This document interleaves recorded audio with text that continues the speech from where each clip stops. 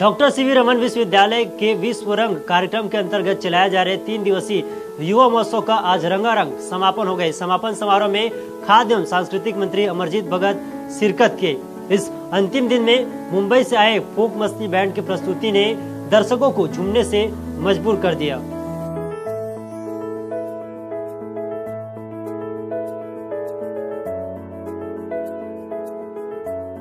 Doctor CV Raman विश्वविद्यालय कोटा के द्वारा विश्व रंग के तहत आयोजित युवा उत्सव मुंबई के फोक मस्ती बैंड की प्रस्तुति ने रंगारंग समापन समारोह का रंग जमा दिया। समापन समारोह में मुख्य अतिथि के रूप में खाद्य एवं सांस्कृतिक मंत्री अमरजीत भगत रहे। साथ ही बिलासपुर विधायक शैलेश पांडे, तखतपुर विधायक रश्मि सिंह, बिलतरा विधायक रजनीश सिंह भी उपस्थित रहे। मुंगेली नाका ग्राउंड में आयोजित इस कार्यक्रम में मुंबईया बैंड की धुनों पर बच्चों और युवा सभी मस्ती में झूमते नज़र आए। और सभी ने कार्यक्रम का आनंद लिया। बच्चे तो स्टेज पर चढ़कर डांस करते नज़र आए।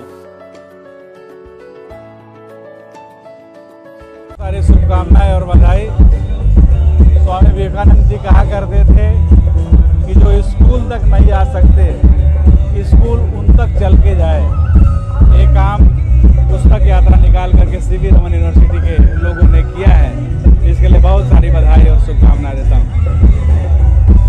ये युवा महोत्सव आप पीछे देख रहे हैं, जो चल रहा है, ये हमने कराया है और ये पूरा युवाओं के लिए था। और उद्देश्य ये था कि आज जो फोक मस्ती बैंड है, हम अपनी साहित्य, अपनी सभ्यता, अपनी संस्कृति से जुड़े। इसी उद्देश्य के साथ हमने पुस्तक यात्रा निकाली थी, जो विभिन्न स्थानों पर, तेरह स्थानों पर गई और वहाँ के स्कूलों में मिली। स्कूलों में बच्चों के बीच में हमने कंपटीशन कराया, पुस्तकें वहाँ पे दान की। उनके द्वारा स्वयं की रचना पाठ को भी हमने बढ़ावा दिया पेंटिंग प्रतियोगिता कराई, भाषण प्रतियोगिता कराया, और वहाँ पे स्थानीय कलाकारों को भी सम्मानित किया। और लगभग ये यात्रा नौ ज़िले से होते हुए बिलासपुर में पहुँची, और अब हम युवा उत्सव के रूप में यहाँ पर युवा उत्सव मना रहे हैं, जिसमें पहले दिन 20 तारीख को उषा गांगुली जी के द्वारा नाट्य मंचन किया गया था। द्वितीय दिन हेमंत चौहान जी हमारे बीच में थे, जो कि प्रसिद्ध भक्ति संगीत के गायक हैं, जो कि वडोदरा से आए थे, सौराष्ट्र से आए थे और आज हमारे बीच में फोक मस्ती बैंड के रूप में मुंबई से है। जो कि यहाँ पे सब आप देख रहे हैं कि पिछले पीछे बहुत अच्छा कार्यक्रम चल रहा है। तो ये एक प्रकार का हम चाहते हैं कि युवा वर्ग अपने संस्कृति से जुड़े, अपने साहित्य से जुड़े, हिंदी से जुड़े। तो हम आज संचार क्रांति के माध्यम में लोग थोड़े दूर होते जा रहे हैं तो हम उसको बढ़ावा देने के लिए ये काम कर रहे हैं। अपने उद्बोधन के दौरान बिलासपुर विधायक शैलेश पांडे का विश्वविद्यालय के प्रति लगाव और पीड़ा एक बार फिर सामने आए। उन्होंने कहा कि मेरे कांग्रेस में शामिल हो जाने की वजह से विश्वविद्यालय को बदनाम करने की साजिश की गई। तरह तरह की आरोप लगाए गए, जाँच कराई गई, लेकिन ईश्वर कृपा से सब ठीक ठाक हो गया और सच्चाई सामने आ गई।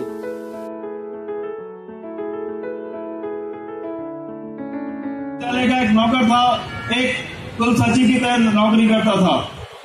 जब मैं राजनीति में आया तब सरकार जो थी, भारतीय जनता पार्टी की थी। क्षमा चाहता हूँ हमारे रजीश भैया। थोड़ा दूसरी बात है, कोई राजनीतिक बात नहीं कर रहा हूँ। मैं एक बात बताना इसलिए ज़रूरी, इस बात का उल्लेख करना बहुत ज़रूरी है। इसमें किसी का विरोधाभास नहीं। मैं रजनीश सिंह जी के बहुत प्यार करता हूँ, बहुत सम्मान करता हूँ। इसमें कोई वो नहीं लेकिन हमारे इस विश्वविद्यालय को, यहाँ तो छात्र छात्राओं के भविष्य के साथ, यहाँ के शिक्षकों के भविष्य के साथ खिलवाड़ किया गया और इसे कांग्रेस का ही माना गया और इसे कांग्रेस का ठप्पा लगाया गया और उसमें तरह तरह की जांचों में इसको घेरा गया। ये सबसे गलत बात थी।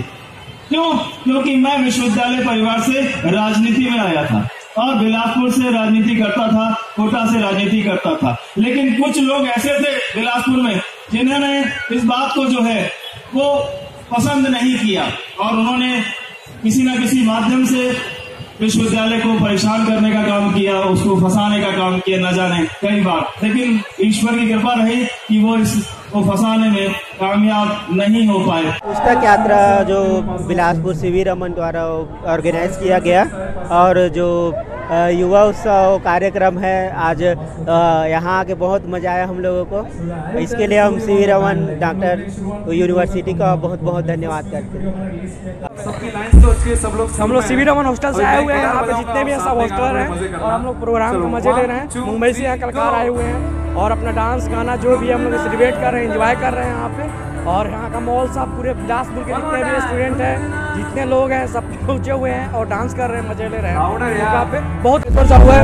मैं B L L B third sem का छात्र हूँ मैं हम लोग हॉस्टल से आए हुए हैं डॉक्टर सी रमन हॉस्टल से आए हुए हैं। और यहाँ इंडियन बैंड की प्रस्तुति जो मुंबई से आए हुए हैं हमारे कलाकार बहुत अच्छे परफॉर्मेंस देते हुए। यहाँ जितने भी और हम सब